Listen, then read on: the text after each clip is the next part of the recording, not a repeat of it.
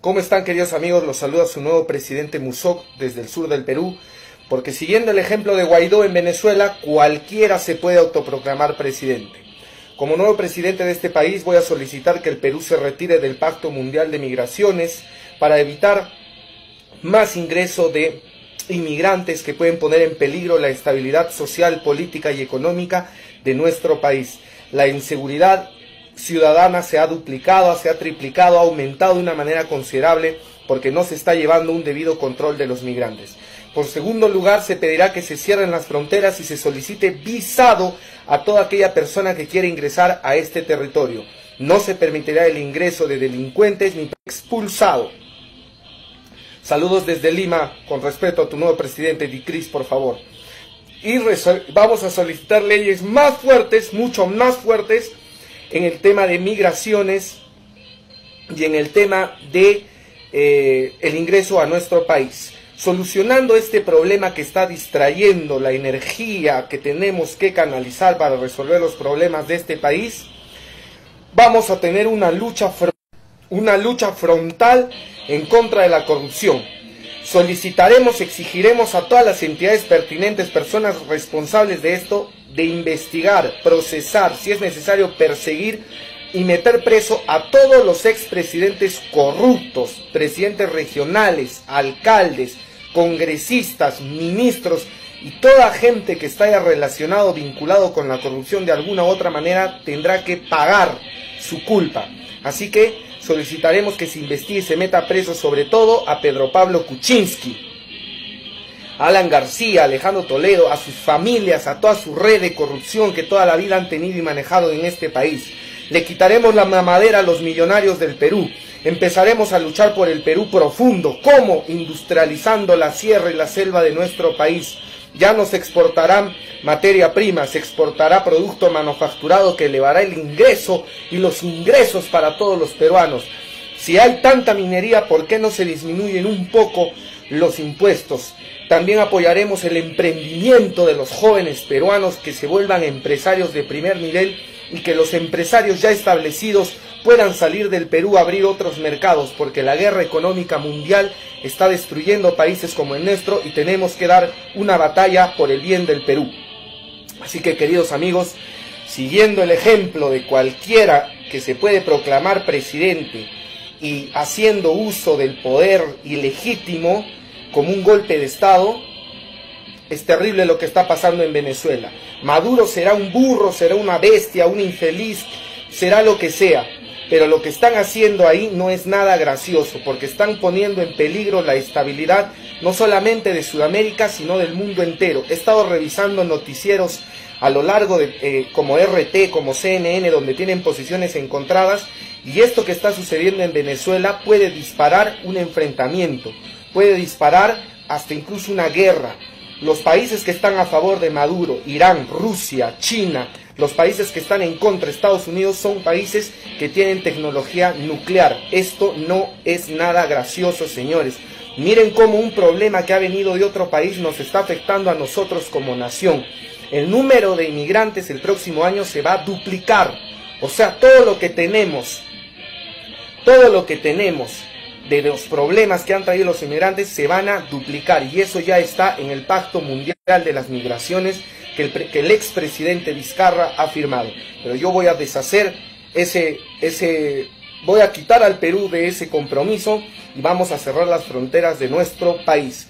Cualquier pregunta que tengan, queridos hermanos, Kasam Ceci dice, parece el discurso de todos los ladrones, pues acostúmbrate porque no hay más, pero yo ladrón no soy. El ladrón cree que todos son de su condición, así que probablemente tú eres ladrón, Kazam o ladrona. Así que yo voy a instaurar en el Perú el gobierno del Ayin Kausai, donde vamos a rescatar los principios incas del Ayin Yachay, Ayin Ruway y Ayin Munay, que luego modificado por, ¿qué se podría decir? Los curas españoles se tradujo como Amasúa, Amayuya, Amaqueya donde el principal labor de un gobierno es el bienestar del ser humano. Sobre todas las ganancias económicas se tiene que pelear. Alex Junior dice, vamos Musak, pásame tu droga. No, hermano, yo no consumo nada de estupefacientes y te recomiendo que tampoco lo hagas porque Así que queridos amigos, eh, en que estaba, donde se tiene que rescatar el conocimiento que tiene el Perú ancestral, modernizarlo con la tecnología que hay hoy en día y disparar un nuevo país, una nueva patria que pueda progresar y salir del maldito tercermundismo. Para eso necesitamos mejorar el desarrollo económico de los mismos peruanos. Tenemos que hacer crecer la economía de una manera tan grande y fuerte que los demás países no puedan meterse con el Perú. Eso es posible. Convoco a todos los jóvenes economistas, genios que tiene el Perú, de cualquier parte del Perú, para luchar por un proyecto nacional que sea para todos los peruanos, pero para todos, no para un grupo de poder enquistado, no para un grupo de poder que son dueños del Perú, no para un grupo que hace lo que le da la gana con el Perú. Así que hay muchas cosas que hacer, pero por ahora, señores, vamos, ya está. Einer dice, hermano, cerrar las fronteras cuando venga a jugar Venezuela, fácil se va, fácil va a ser local.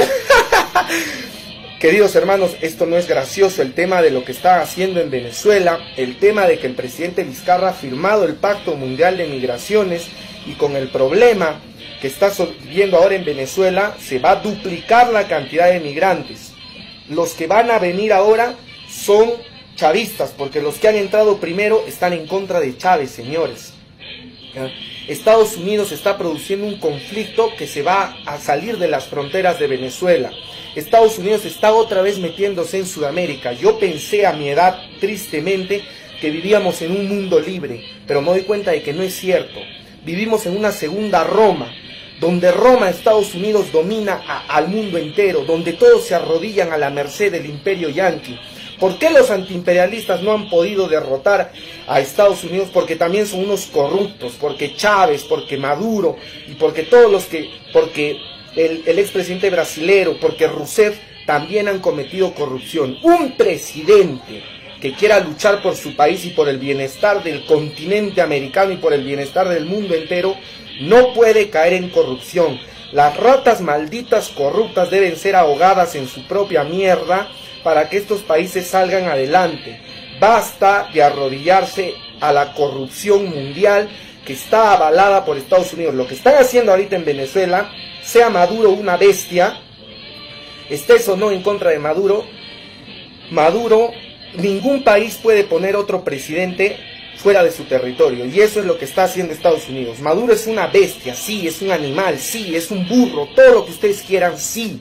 Pero Estados Unidos no puede poner otro presidente cuando le da la gana y los demás países, chupamedias y chupatodo, se arrodillan y obedecen lo que dice Trump y el imperio yanqui. ¿Quiénes son los primeros mariconazos en arrastrarse al imperio yanqui?